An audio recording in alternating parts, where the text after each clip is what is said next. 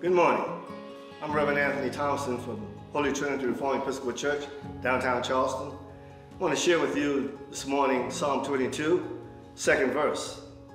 My God, I cry out by day, but you do not answer, by night, but I find no rest. David wrote the song as a prayer. Evidently, he was going through a time of tribulation in his life. He was praying because he felt like he wasn't getting an answer from the Lord at least not at the time he expected. But what David did not know that his prayer to the Lord gave an accurate description of the suffering that Jesus would experience on the cross at Calvary. Now Jesus being God was also man who bore flesh, was tempted, experienced pain, suffering, trials and tribulations just like you and I, but he did not sin. And when he prayed, things happened immediately. The blind received sight, the lame walked immediately, demons were cast out, immediately the dead were raised. But during the time he was nailed to the cross and prayed for God, his Father, to, re, to rescue him, God did not answer right away. But Jesus had no doubt that his Father would answer him. His prayer was just an urgent appeal to God, as if though he was saying, God, I want you to rescue me right now. But God waited for the appointed time, and he raised Jesus from the dead on the third day.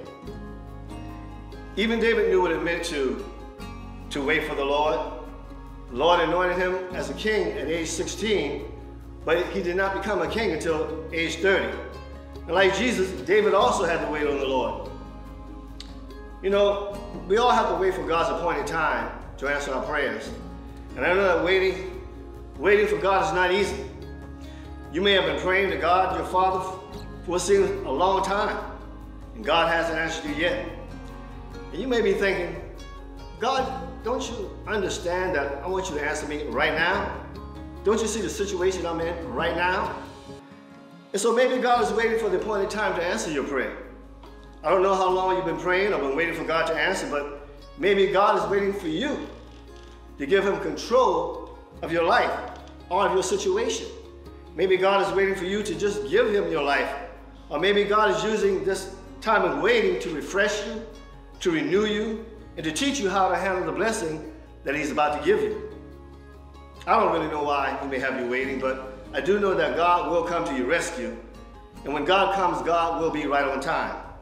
So during this Lent season, let's do what Paul tells us to do in Colossians 4th chapter, 2nd verse. Continue in prayer and watch in the same with thanksgiving. You see, persistent prayer is an expression of our faith that God will answer our prayers. So our faith shouldn't die if the answer comes slow, because the delay may be God's way of working his will in our lives. So when you feel tired of praying, know that God is always present, always listening, always answering. Maybe not in our way, maybe not in our own time, but in ways and in times he knows are the best for you and me. So devote yourselves to prayer expect an answer in God's appointed time. And when God answers, you be thankful because God will hear you and God will answer your prayer. Thank you.